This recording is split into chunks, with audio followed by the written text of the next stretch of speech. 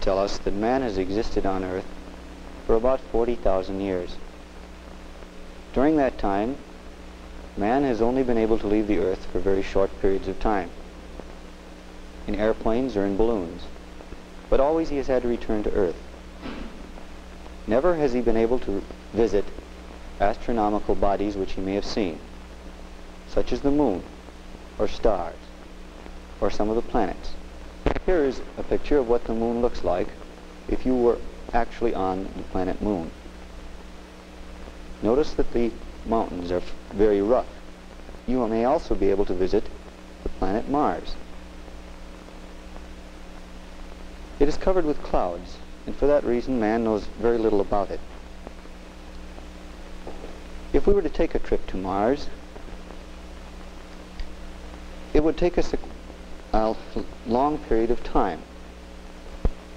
You see, Mars is a planet which is just outside of the Earth's orbit or path. It takes the Earth approximately 365 and a quarter days to go completely around the Sun. Mars takes 687 days. Now, if we could shoot a rocket directly from the Earth to Mars, it would probably take us about 75 days. But this is almost impossible to do because the Earth is moving and Mars is moving. And so we must take advantage of that movement of Earth and Mars in our trip through space. Dr. von Braun, who is America's foremost rocket expert, estimates that we may travel to Mars in about 260 days. The Earth would appear at about such a point, and Mars about here. The rocket would leave the Earth and travel in a path which would eventually catch up to and overtake the planet Mars when it reached this point here. This length of time, the length of time it would take, is about 260 days to travel there. Once we have arrived at Mars, or we should say first that Earth would be about at this point right here, when Mars is here. If we wanted to come back right away, I'm afraid we couldn't do it. You see, Earth and Mars must be in a favorable position to each other. Because if we shot the rocket from Mars, we would miss the Earth when the rocket hit the Earth's path and could either end up in the sun or to go on out into outer space. So it requires a wait of about 449 days before we can start to return.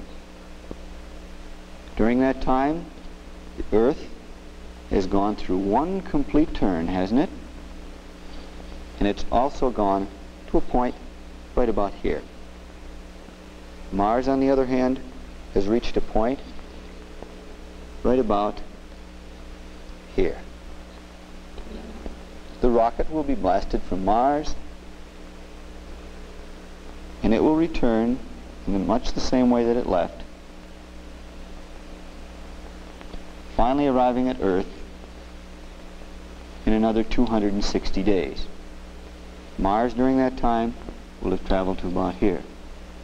Now this whole trip, round trip, considering the time it took to go, the time we had to wait, and the time took to come back, see, that's 9, 16, 9. 969 days which is about two and a half years. Now during that time, man must have an environment aboard this spaceship and while he's on Mars. Now what is an environment? An environment are, is the things and forces around you. Now, what things and forces are around you right now? Well, in your classroom, you have desks, you have an amount of heat, a television set in the room. All these things are part of your environment. Let's consider, if we can, how man will be able to change this environment. You see, man has a problem. Not only must he get to Mars, but he must also return. Just as this mountain climber going to the top of the mountain must also be able to return before his trip is complete. But what conditions can man withstand in his environment? He can withstand a, a very sudden change or a large change for only a short time. An example of this would be a firefighter dressed in asbestos suits who could go into a flaming building and withstand tremendous heats for a, heat for a very short time. But also man in his environment can withstand small changes, such as being cold. Perhaps some of you have been cold out of doors for a longer period of time, but not indefinitely. An example would be this person dressed for winter. If he's cold, he can perhaps stay out all day without suffering too many ill effects. Now just for a moment, let's consider what are the problems that man must solve before he can exist in space. Well, he must have something to breathe. And since there is nothing to breathe in space, he must take it with him. The substance that he needs to breathe is oxygen. The atmosphere here on Earth is about one-fifth oxygen. Now this one-fifth is critical. You see, we can't just give man oxygen while he's in space, because if we gave him pure oxygen, uh, it could actually be fatal, because man's body would work too fast. Here on Earth, his atmosphere is diluted, just as paint is thinned if it's too thick with four-fifths nitrogen. There's other gases here, though. Also, I should point them out. Little argon, some neon, some carbon dioxide, which is important for us to breathe, all are important in diluting the amount of oxygen. But being man will be put under tremendous pressure, air pressure in space, nitrogen dissolves into the blood. And when it, the pressure is released, this nitrogen can collect into tiny bubbles, and eventually it causes a disease called bends, which is a very, very painful disease. And so for this reason, deep sea divers, as well as people traveling in space, will substitute helium for the nitrogen. What other problems must man face? He must have water, about four and a half quarts per day, for drinking, for his food, and also for cleanliness. Now four and a half quarts, let's see, that makes about nine pounds, and if we could multiply this by two and a half years, uh, we would find it's about four ton, or 8,000 pounds. Now that's a lot of weight to carry in a rocket going into space. So what will be done is the water will be reused again and again. In other words, the four and a half qu quarts of water which are used will be repurified from body wastes, such as from the air that you breathe out or from perspiration.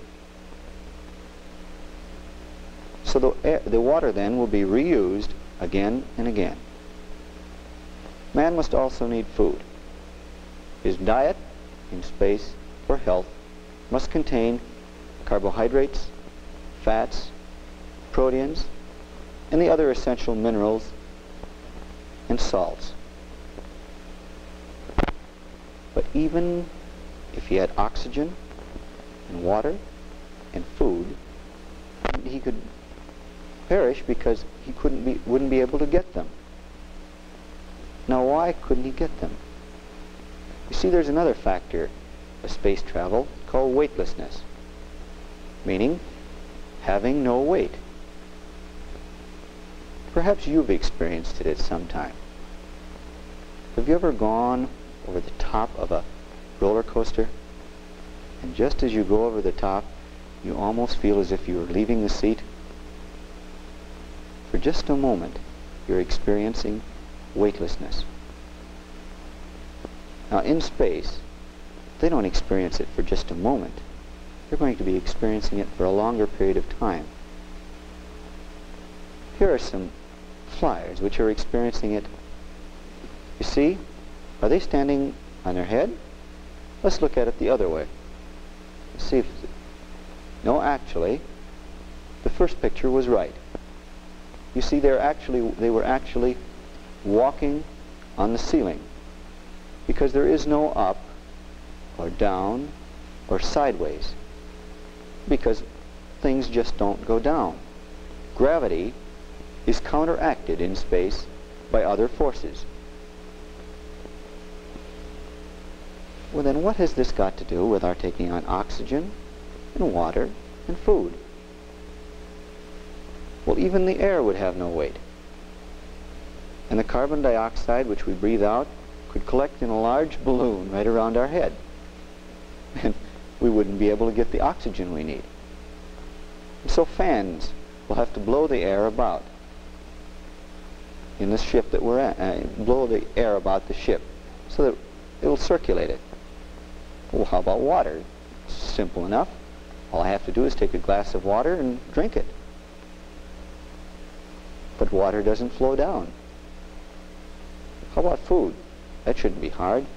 Um, I'll just uh, take some food in my mouth and chew it and swallow it. No, we couldn't do this either.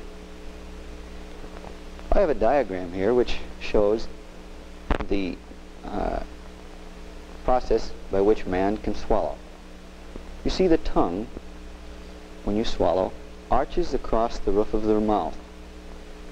And then the food actually drops down into the food passageway when you swallow and passes on into the stomach. Now, it drops down, meaning gravity has an effect on it, doesn't it? But in space, weightlessness would not let us have our food drop down.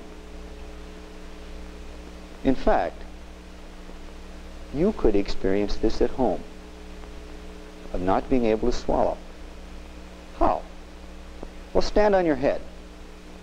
And if you can't stand on your head, perhaps you can put your head on the floor and your body up on the arm or chair or, or back of a chair or uh, sofa and try and drink a glass of water or eat a piece of apple and swallow it.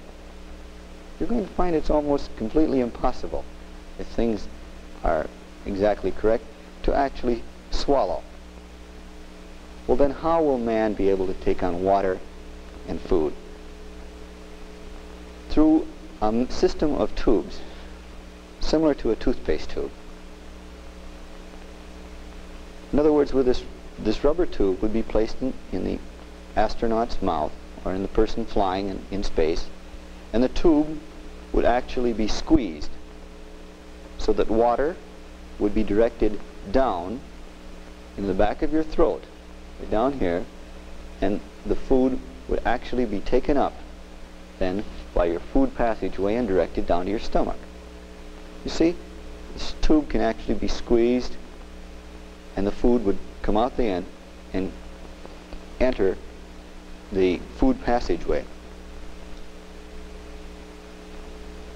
What other problems will confront man? There are many.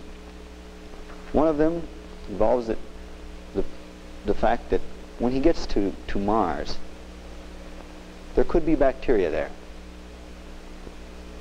A man here on Earth is familiar with Earth bacteria, but we've never experienced Martian bacteria. And perhaps they would be different from the ones we have. I have some samples that I have made uh, of Earth bacteria here, which I have made by brushing my hair into a, uh, a petri dish, which uh, was sterile, some dirt from the bottom of my shoe.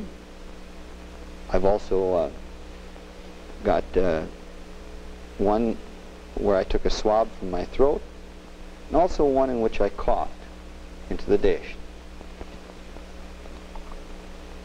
I'd like you to look and see the bacteria which resulted from a cough.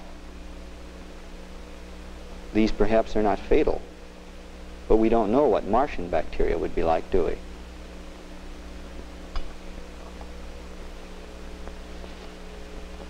Then what other problems must man face? He must also face tremendous pressure. Air pressure. You see, space is a vacuum. And in a vacuum, if there's anything pushing out, it will expand tremendously. I have a vacuum pump here which will be directed towards the end of this small thistle tube. And it will pump the air or make a vacuum. You will actually see where my body, the, the pressure of my body will force itself down into this thistle tube, or the end of this tube. Let's see um, if uh, what will happen, huh? I'll put it on my arm. See if we can. Can you see how it has pulled the skin actually down this far into the thistle tube?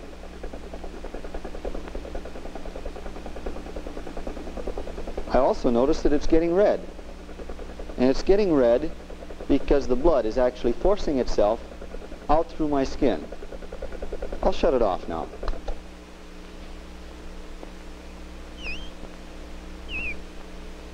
It has tremendous pressure. And you can notice that there's a large red ring on my arm caused because the blood has forced itself through the skin. Now what is man doing right now to be able to go into space? Within the year 1961, it is expected that the Project Mercury will go, get underway. Men are being trained to go to the outer edges of our atmosphere, or should I say the fringes of our atmosphere, and return. a rocket from Cape Canaveral, Florida,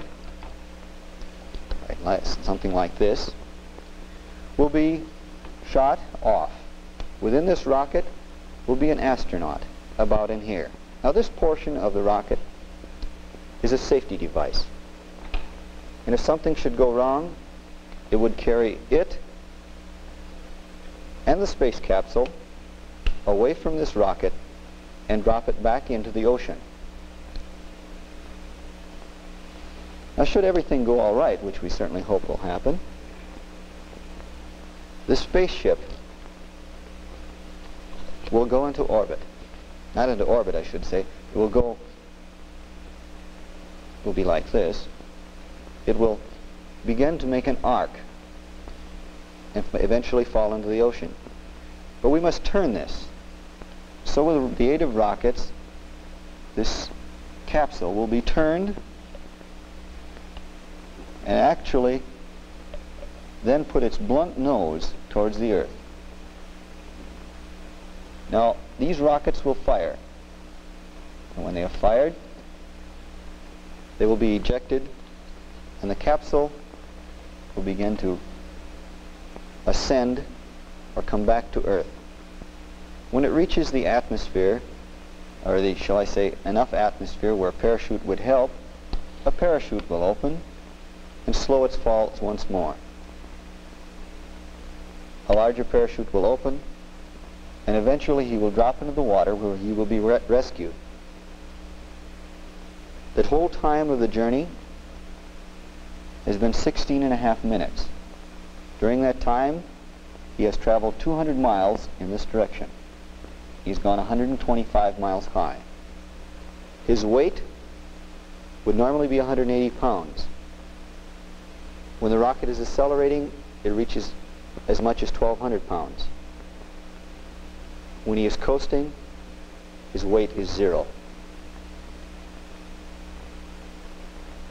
Now what other problems are there in space? Some of them you may want to solve or learn about. One of these involves heat. I have performed an experiment, experiment. Perhaps you could do this yourself if you had two thermometers. With the aid of a light and two thermometers, one of which I have coated on the end with black shoe polish, and the other I have left as it normally is. And if we place, place them under a very strong light for as little as 10 or 15 minutes, you'll notice that the black portion will collect more heat. In fact, I've gotten as much as 4 or 5 degrees difference between the two thermometers. Now what does this mean? It means that in space, man has a problem of heat. And this is only one of the ways that man will be able to control it. You see, heat can be as high as 250 degrees on the sunny side of the ship, but on the side opposite the sun, it may be many hundreds of degrees below freezing. What other problems will man face? Here are some that you can think about. How does he sleep? What about radiation? X-rays which can cause death. These are only some of the problems. Perhaps you may be interested enough to want to read about them. Perhaps someday you and I will be able to see and visit other planets and our moon.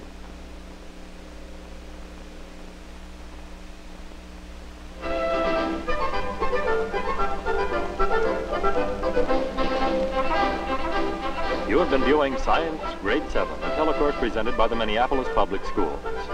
Your teacher today has been Richard F. Rumppe, subject area consultant supervised the planning of each series, which is authorized by the Advisory Committee on Educational Television. Teams of teachers assist in the planning and evaluating of the various lessons presented. Series are produced through the Radio Television Department of the Minneapolis Public Schools. Your studio director has been Louis House.